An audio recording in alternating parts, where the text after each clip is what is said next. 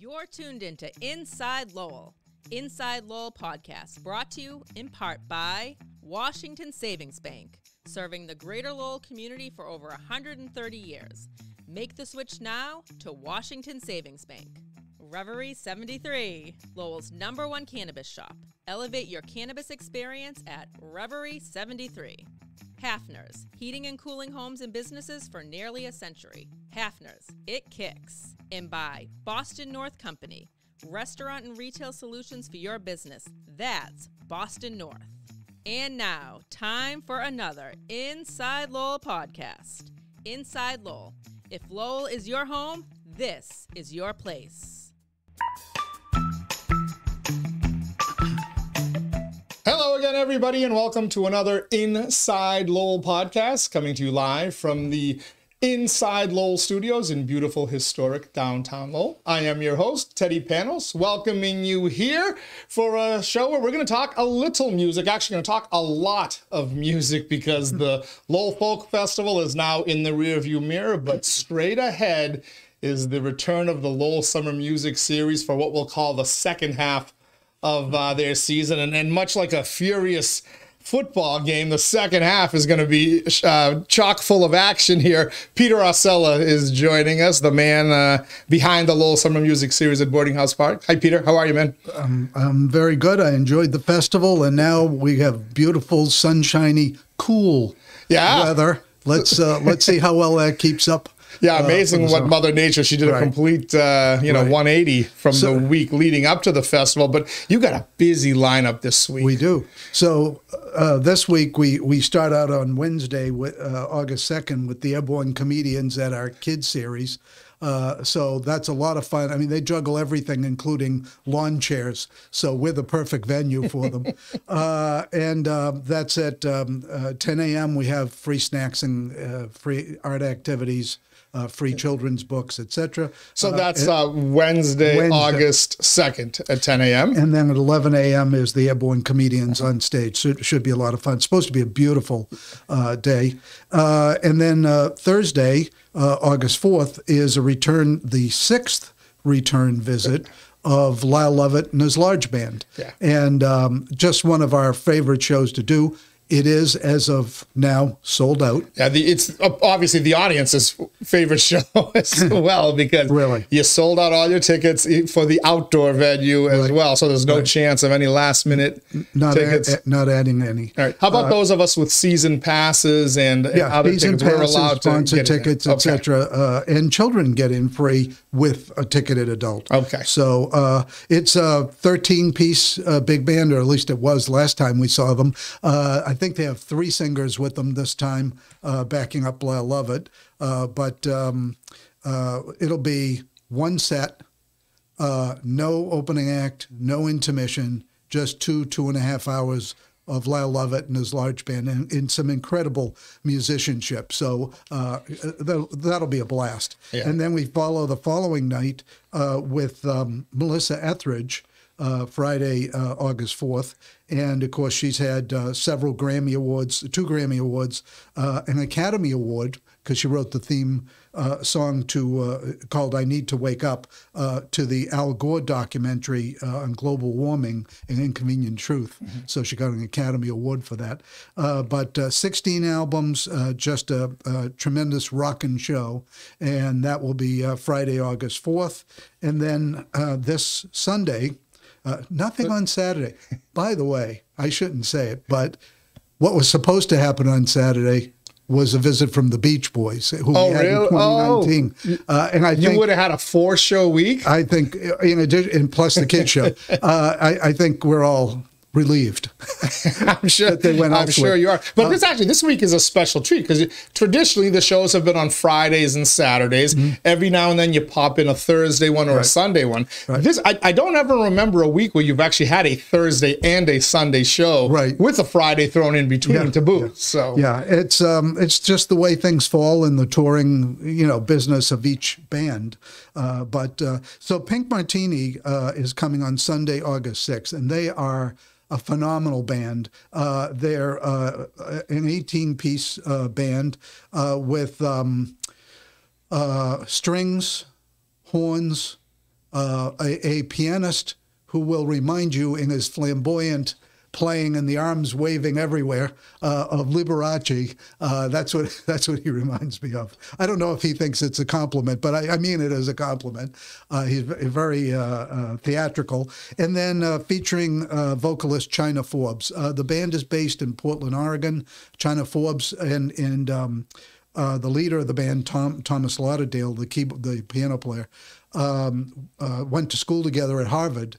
So she still lived in um, Cambridge, and uh, back in 1995, he invited her into the band, and they've been they tour the world. And not only do they tour the world, they sing in 25 languages. So they're market is i mean they've got an album of japanese songs. I mean it, it's unbelievable. So to get this right you have an act that sings in 25 languages coming to a city where in which 70 languages are spoken. Yeah really. Talk about uh, a united nation. right. I, I, I think most people will understand most songs uh, because uh, mostly they've got a lot of great english language uh, songs but they do um, really uh, reach out all over the world, and uh, they've they have they have eleven studio albums. So uh, there are people who collect Pink Martini albums because they're they're great music, and um, um, they have played with 50 orchestras around the world, with uh, uh, including the Boston Pops, Los Angeles Philharmonic at the Hollywood Bowl, uh, the National Symphony at the Kennedy Center, and BBC Concert Orchestra at the Royal Albert Hall. So uh, you can't do better than that. No opening act. It is Pink Martini, two sets, and uh, it'll be it'll be a tremendous Sunday night. Love it. So that's a very busy week as you uh, gear back up after mm-hmm. Folk Festival, and then it, the schedule doesn't really slow down. You've got two, sometimes three acts right on through uh, the end of the the series. Uh, Patty Griffin on Friday, August 11th. Mm-hmm. Matt Nathanson on Saturday, mm-hmm. August 12th. Mm-hmm. Tell me a little bit about these acts. Yeah, so Patty Griffin is a folk singer who's been around uh, uh Austin, uh, Texas based. Uh, she's been around since the 1990s. She's had, I think, seven Grammy nominations. She's won one. Uh, she's got uh, nine uh, studio albums, two live collections, uh, and um, she, her music has been performed by all kinds of folks: uh, Linda Ronstadt, Emmylou Harris, uh, the Dixie Chicks, Kelly Clarkson. So. Um, um, Martina McBride, I'm thinking. so the so her songs have that sort of university universal appeal. Some folks who know a thing or two about successful music and, and selling records and songs are willing to sing yeah, hers. Huh? Exactly, so. and she did tour for several years with Robert Plant in the uh, group Band of Joy. Uh, which uh, and I did see them when uh, back at the House of Blues a few years ago. So uh, that's coming up on Friday, August 11th. So uh, it, it's um, uh, a trio format. She plays uh, piano and uh, guitar, uh, guitar uh, but she'll have a bass player and drummer. Uh, and um, again, it's it's an evening with Patty Griffin. She comes out, you get a long show of Patty Griffin. And then the next night, Saturday, August 12th, is Matt Nathanson. Now, Matt Nathanson is actually a Lexington boy. So uh, he grew up in Lexington, Mass. Couldn't wait to get out of there. And, and, actually, he, he, couldn't afford it, probably. and actually, uh, he he talks about his search for you know the good things in life and you know living in L.A. and all this stuff, and realizes how great it was back in Lexington, Massachusetts. So it's kind of a funny uh, uh, story. But he had a couple of big uh, hits um, back in uh, 2007. There was one called Car Crash, uh, and uh, another. Um, I'm not going to sing them for you. another, Come On Get Higher. Uh, and um, uh, another one called Faster. So uh, t- 2008 and 2011. So he um, has had had uh, six studio albums. Uh, he has um, uh, a lot of songs that have appeared in TV shows. So uh, my notes here say NCIS, Scrubs, 90210, and The Vampire Diaries. So there's something to think about. And of course, he's been on all the.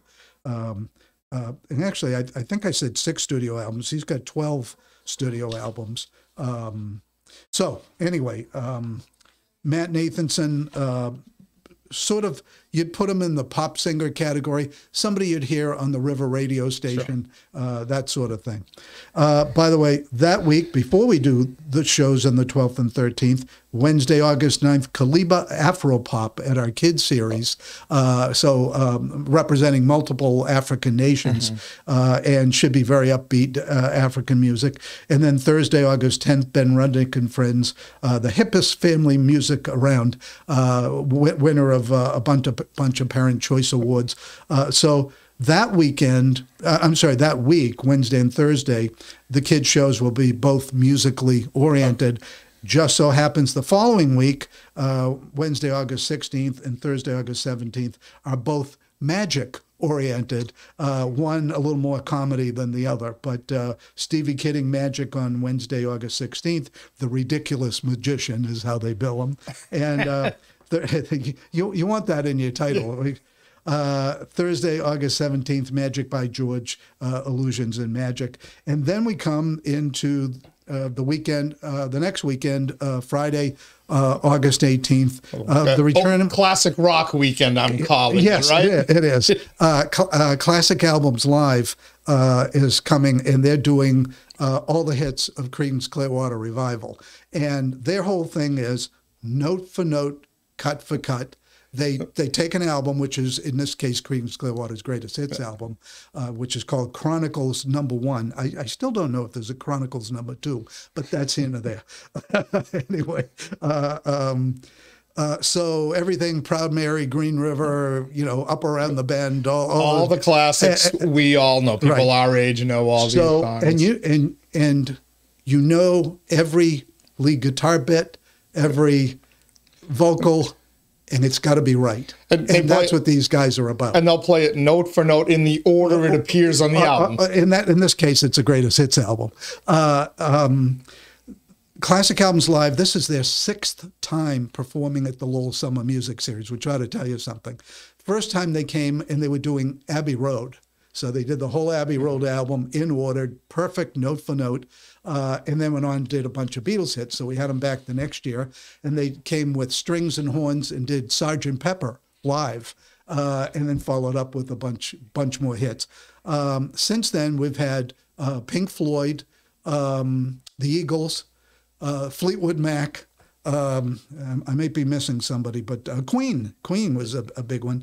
Uh, so, in each time, there's a slightly different membership in the group for each uh, band, uh, but each time they hit the nail on the head. And uh, those who are fans, like if you're a Creedence Clearwater fan, you don't want to hear somebody do, you know, a poor version of it or a second-rate version. You're going to get, you're going to get the best. Uh, the, these folks are dedicated to doing it right. So and that is Friday, August 18th, and then the next night, Saturday, August 19th. Led Zeppelin too. Led Zeppelin 2. So here's a case. This is a band from Chicago, so they're not around the area very much. Uh, but um, and there are a number of Ze- Led Zeppelin um, cover bands that are touring the region, and they're here every year. Uh, but this one um, uh, it hasn't been here that regularly. But um, they are from um, they they combine you know uh, got together from a bunch of uh, sort of metal bands and uh, uh, hard rock bands from uh, in Chicago, and um, um, so you'll you'll hear all the you know, Stairway to Heaven, Whole Lot of Love. You're going to hear them all. So um, that's uh, Saturday, August nineteenth, and um, and again, you know, you know what's nice about some of these th- shows, like it's a twenty nine dollar ticket, so it's a nice affordable night. If you're if, if you have some good memories of Led Zeppelin, they actually look quite a bit like Led Do they, Zeppelin. so- do they really? Wait, Led Zeppelin back in the day or Led Zeppelin today? No, you, you know, Led Zeppelin broke up so many years ago. I'm trying to remember. I, I should know the date, the dates, but I mean decades ago. That there's like this image of them, but they don't look like that anymore. but Led Zeppelin 2 will Right. look like them. All right, uh, Sunday, August 27th, that's a, a special performance, Well, right? it's actually not a Low- Lowell Summer Music Show, but it's a show that we wanted to help promote. So we've got them on our website. We've got them in our brochure uh, promoting the summer. Uh, but it is the Angkor Dance Troupe, which is Lowell based. Uh, they are world class. Uh, they've performed at the White House and Jacob's Pillow uh, dance uh, in the Berkshires and whatnot. So um, they are doing um, um, a special show. It's free. It's uh, 6 p.m. and um, so on a Sunday, so it's kind of early, uh, and um, it. Um, it you know it'll be a very entertaining show. Well, it's kind of cool because they've appeared on so many stages, uh, you know, at the Auditorium, Merrimack Repertory Theater, every, Right. every major stage around Lowell, and then a few around the country, as, Right. as you mentioned. But they've never done a show at Boarding House Park, right? Well, they've, or done have some, they've done some shows, but we haven't put them in our calendar Uh-huh. to. I mean, we're trying to help them and trying to promote them, and uh, because we know they're first class. So, um, and uh, I think maybe uh, you know, particularly if it's a beautiful night, people bring their lawn chairs and blankets and say, "Let's check this out." 6 p.m. on a Sunday. Awesome. It's going to be a fun night. It's uh it's Tuesday, August 1st, 2023. That's the day Peter and I are recording this. When you're watching it, we don't know, but we're covering an entire month really of shows coming up with the Lowell Summer Music Series. Going to get to the final couple of acts of the season before we wrap it up over there at Boarding House Park. I want to quickly thank our sponsors for helping make this podcast, all of our podcasts, and all of Inside Lowell possible for that matter. We've got, uh, well, dozens of them, too many of them to read right now, but there's a couple that I do have to read for you, contractually bound to. Uh, and I'm more than happy to do it because these folks, of course, support local media to an unbelievable level and make it possible for us to bring you all the different services that we do here at Inside Lowell. Of course, our friends at Washington Savings Bank, serving the greater Lowell community for over 130 years. Lowell and Dracut residents, you still have time. They keep extending this offer for you. They love you that much, but make the switch now to Washington Savings Bank. Find out how you can get $300 simply by opening a qualified new account. Learn more at washingtonsavings.com. Of course, our friends at Reverie 73 voted Lowell's number one cannabis shop by Boston.com. They actually had a display tent at the Lowell Folk Festival. First time the Folk Festival featured a 21 plus section, and our friends at Reverie 73 were there. It wasn't their beautiful location at 1148 Bridge Street in Lowell, but it uh, it did do the trick. You can also shop their full product line online at reverie73.com. Elevate your cannabis experience at Reverie 73. Haffner's Heating and Cooling Homes and Businesses for nearly a century. Fill up your vehicle, keep it clean at one of their many service stations and car washes throughout Lowell and the Merrimack Valley. Haffner's, it kicks. The sign behind me tells you it does. They kick too. And last but certainly not least, our friends at Boston North Credit Card Company. They do it all for your business. Point of sale systems, credit card processing, ATM sales and service, phone and answering services. Learn more online at bostonnorthcompany.com. And with that, I bring back our friend Peter Aucella from the Lowell Summer Music Series. All right. We're up to the last uh, week now of uh, of shows. We're actually going to go from the end of August into September. On Thursday, the 31st, you've got the Robert Clay Band. Robert Cray Band. Uh, Cray. Robert Cray has been out there since the, the mid 70s. He's um, uh, just a, a great style of guitar. It's actually, he's called a blues guitarist, but it's really as much soul music. Uh, he's got a very soulful delivery to this, and you'll hear a lot of, I don't want to say Motown, but you'll hear a lot of soul kind of feeling to what he does. Uh, he's got 20 albums out over the years uh, and uh, has won five Grammy Awards. So Has he been here uh, he has in the past. Yep, uh, 2008 to be precise. Okay. It's been a while. So uh, we're glad to have Robert Cray back on Thursday, August 31st. Uh, and then on Friday, September 1st, um, uh, the jam band Mo. Mo. And Mo has been here too in 2017.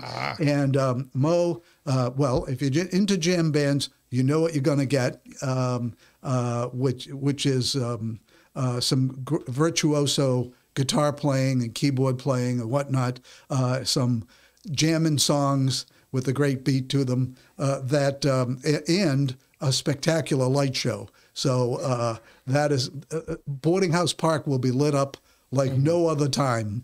So if you ever want to see what can happen, th- th- this is it. So Mo is returning Friday, September 1st. Um, so it's the, sort of the beginning of the Labor Day weekend, Sure. uh, Thursday and Friday, and then you can go off and do your own thing for the rest of the weekend.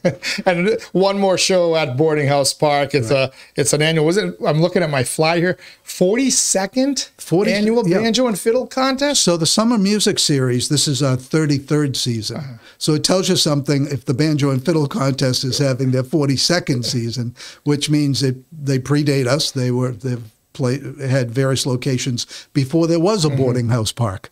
Uh, and uh, so uh, what happens? This will be Saturday, September 9th, and uh, at 10 a.m. Um, uh, there are f- free workshops. So on various, you know, uh, old time fiddle or bluegrass or or uh, um, Celtic music or whatever, uh, they have, uh, and and these are spread around boarding house park. So you see these little groups of six, eight, 10, 12 people uh, kind of jamming together uh, in these workshops as they talk about the you know the elements of producing that kind of music. That's at 10 a.m. At 11 a.m., uh, those groups kind of sort of meld together into a couple of organized jam sessions. So the groups get bigger, and you know one's on one side of the park, another on another side of the park, and they're just going to town. Uh, and so everybody gets to participate. Then that brings us to that. Th- those things are happening while people are registering for the contest. And the contest is actually noon to 5 or 6 p.m. whenever they run out of contestants. And they usually have 50 or more contestants. And um, there is no charge to compete in the contest, and there's no charge to attend the contest or, or any of this. So when they're playing together in the groups while the registration is happening and they're quote jamming, are they trying to intimidate the competition or are they just kind of having fun and letting loose? Right? There may be some of that going on. I never really thought of Is it. there a ruthless banjo or fiddle player I, I think if you're, if you're in the genre, you love playing with other people. And actually, actually, what happens is uh, uh, during the day, if you walk around uh, be, along the canal, you'll see a couple of people playing over here. Further down Hmm. the canal, a couple of people playing over there. And I'm kind of told the banjo's making a little bit of a comeback in music Yeah. from what I'm hearing from folks. Yeah, I think it I'm is. not a big country music guy, but Yeah, I, I, I, I kind of think it is. And um, what's interesting is you get uh, performers of, of all ages. You know, uh, we had uh, it was a big deal last year. Uh, we had the group Gaelic Storm come and play at the Summer Music Series, and they introduced their brand new fiddler. Now that this band's been out there for decades, their brand new fiddler from Lowell, Massachusetts, Oh. who said, "I've been on this stage many times competing in the banjo and fiddle." No contest." kidding. And uh, that's yeah, a great story. yeah, that's a great story. And and the uh, the banjo and fiddle organizers went went crazy over that one, and they interviewed her, and we had That needs to be on the fly. we had an interview with her in last year's little uh, publication they put out for the event. So um, uh, that is uh, so 10 a.m. as early as 10 a.m. to as late as 6 p.m. Come any time of the day. Stay a little bit. Stay a while, uh, and um, uh, you're with kindred spirits, and they appreciate. Uh, the support, Yeah. and again, free event. Yeah, and all of these shows available because we we had a ton of them that we just Yeah. went through. All of them, a full lineup available online, lowellsummermusic.org. You can watch videos of generally of live performances, so Yes. you'll know exactly what it's going Right. to sound like out in the park. Uh, rain location. It uh, I saw last night. I was doing a little bit of research. Fifteen of the thirty days in June, it rained in Boston. I would imagine we were similar here. And then just this morning, Don't don't make me cry. just this morning, I woke up and found it was the wettest July in ever recorded at Mount Washington. Yep. Rain 22 of the 31 days. So I have to say this, Peter. Welcome you have rain. world. You have rain locations for some of these shows, and you you might have to use them here pretty quickly. Uh, on some dates, we're able to go to Lowell Memorial Auditorium. On some dates, that's not available, and we're able to go to Lowell High School Auditorium, which is 1,600 seats. We're blessed to have indoor options at all because, as you know, there are plenty of festivals. Heck, Taylor Swift. And um, who was it? There was another a country singer just recently. Did- somebody just played while a tornado hit the a couple of nights Yeah. ago, right? So uh, and and um, Yeah, and and when it's that bad, you don't want to be standing out there in a pouring rain and uh, or or getting a curtailed show. So uh, to have the option to move indoors is tremendous, uh, and we do it as on as limited basis as we can. We're outdoor series. There are times we say if there's a little passing shower, you know, it's Suck it outdoors. Yeah, Yeah. suck it up. But it- of course, people always go to the website. If if if, Right. if you're looking at the forecast and Right. weather is at all in question, Right, right. go to the website and you'll find out if it's going to be Yeah. indoors or outdoors. In fact, if you're on- on your phone and you go to lowellsummermusic.org, the first th- the first thing that's going to pop up is a message about uh, uh, if if the show has to move indoors. So that would be something you'd look for if it were um, d- doubtful. All right. And one final note, as we, as we always remind people, don't get caught up by some of these fake Oh. ticketing sites that will tack on a premium for their own pockets.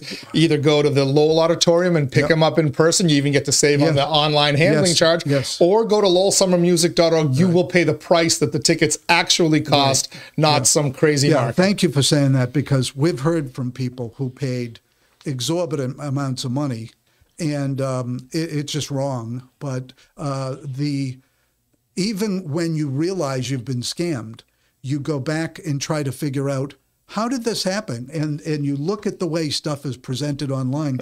You almost think you're on Sure. a, a venue website, and this this is not just our venue; it's all the venues.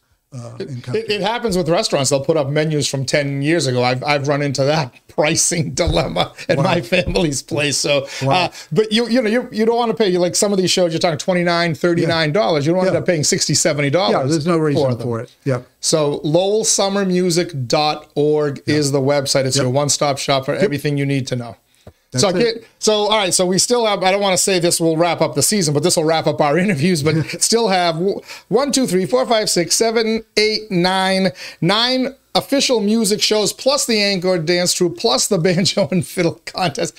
Busy August and oh, wait. early September. And you're missing At Boarding House Park. five children. Oh, I forgot the five kids shows as well. I gotta get my kids to one of these, by the way, yeah, this year. yeah. So it's it's a busy, busy time for us, and our crew works very hard. Sometimes in unforgiving weather, uh, whether it's you know raining, you get to go indoors. Sure. They get to bring everything Correct. indoors and then bring it back to our storage. And while you're sitting out there enjoying some cool music on the nighttime when you drop 20 degrees in temperatures, your crew's out there setting up in 95 degree oppressive heat Oh, yeah. and humidity. yeah. What sometimes. happens? What happens midday is a whole different animal. Kudos to you and everybody who puts this together, and the and the Lowell Festival Foundation as well for not just what they did with the folk festival, but they are also the, the folks who kind of shepherd this each and every year. We really appreciate appreciate it, Peter. I'm looking forward to Melissa Etheridge. Mm. Yep. So there's some people out there in the other room. Those youngsters are laughing at me because of you know I'm all hip to go to the Melissa Etheridge show, but she's huge. She is. She is. And, you hear that, Danielle and Lindsay? And and I got to tell you, I'm always proud of what we put on the stage. The quality of every performer is they are professionals. They're right up there. Uh, and uh, certainly when you're out in the park, there is no no better sound quality at a concert than what you get at Boarding House Park. So. Does not get any better. Peter Right. Aucella, thank you. And thank all of you for watching us as well inside Lowell. If Lowell is your home, this is your place. Till next time, everybody stay safe out there.